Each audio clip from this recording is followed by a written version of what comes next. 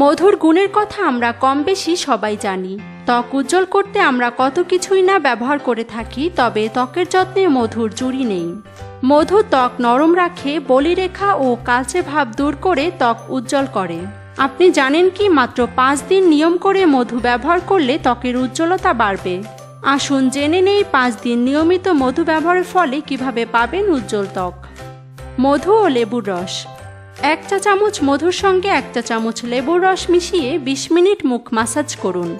এরপর হালকা গরম পানি দিয়ে মুখ ধুয়ে ফেলুন। দেখবেন আপনার ত্বক এক নিমিষেই উজ্জ্বল হয়ে যাবে। মধু ও টক দই। এক টেবিল চামচ মধুর সঙ্গে এক টেবিল চামচ টক দই মিশিয়ে মুখে লাগান।